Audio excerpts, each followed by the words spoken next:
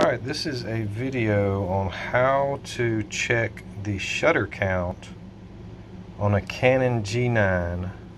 This might work on some other Canon models, but this one seems to be a little different than some of the other Canons.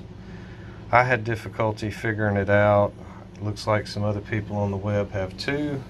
So this is how I did it. First, you'll either need a battery or the plug-in for the Canon. You'll also need to put a memory card in here. Then, if I can try to set the phone down, to make it work, uh, you will need to actually take a picture with the memory card that's in here. So even though this screen's not going to come on or I don't know how to make it come on right now. There's a picture I took a while ago. We'll take another picture just to show you the process. Alright there's the picture. Then you take the function and the display button press it once once twice three times. Of course that didn't work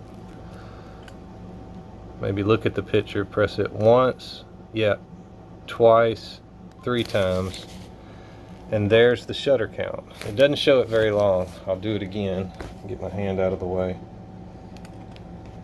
Look at the picture that you just took. Display and function at the same time.